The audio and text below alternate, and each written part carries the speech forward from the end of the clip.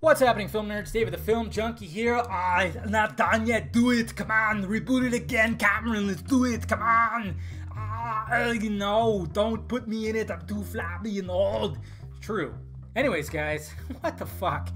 Uh, I wasn't expecting this, but according to uh, Deadline, um, James Cameron is going to reboot the Terminator franchise with possibly having Tim Miller, Deadpool, direct it. That's right. That all sounds pretty good if you're looking at it like why the you know as like cool and nerding out. But there's a lot of people going, "What the fuck? Seriously?" And yeah, that's understandable. What the fuck? Seriously, especially since the last three Terminator movies have been just getting worse and worse and worse and worse. You know, you had Terminator 3 Rise of Machines, which didn't make any sense. Um, didn't need to happen. A lot of it was just dog shit. The whole thing was pretty much dog shit. The best part about it was uh, butt shot from the chick Terminator. That's about it. Um, then you had Terminator Salvation, which was like, all right, this has potential because we're gonna see the future. Christian Bale, fuck yeah. But then we had McG, jizz all over that thing with special effects and just a shitty story.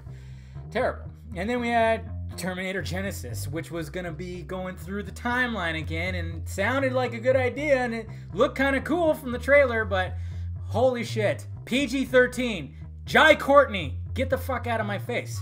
Okay, so now we got James Cameron, who actually endorsed Terminator Genisys. That's right, he was paid.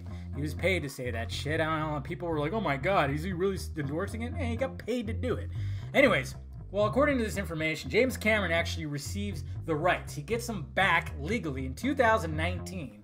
And apparently, according to this, according to Deadline, uh, Skydance's David Ellison is paying for what? Uh, an exploratory effort to uh, includes engaging some top flight science fiction authors to find the movie create creatively. Okay? Stop right there, David Ellison, Ellison, whatever the fuck, and James Cameron.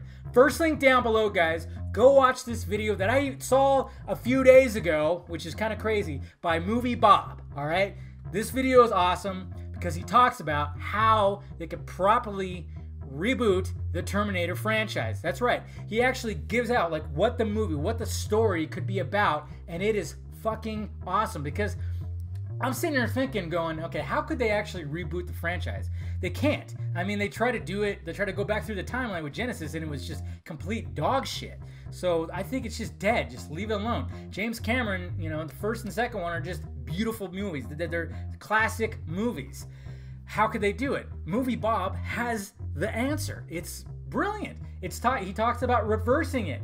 Have, you know, and I, am not going to go into details. I, I suggest you go watch his video. He explains it all, and it's just it's perfect and it fits for the way things are now. You know, because before when it was Terminator, they show the future and they talk about Skynet and stuff like that. It was kind of okay and didn't you know didn't age well i guess you could say and then they try to capitalize on terminator genisys having this ui or this uh, this ai or whatever this computer platform that was going to link everything and it's like that's already happening with like android or apple or blah blah blah so fucking stupid but like i said first link down below i'm going to post his video Go watch it, guys. Listen to what he has to say about a new Terminator movie. It's fucking brilliant. Like I, I was watching it, going, "Wow, it's that simple."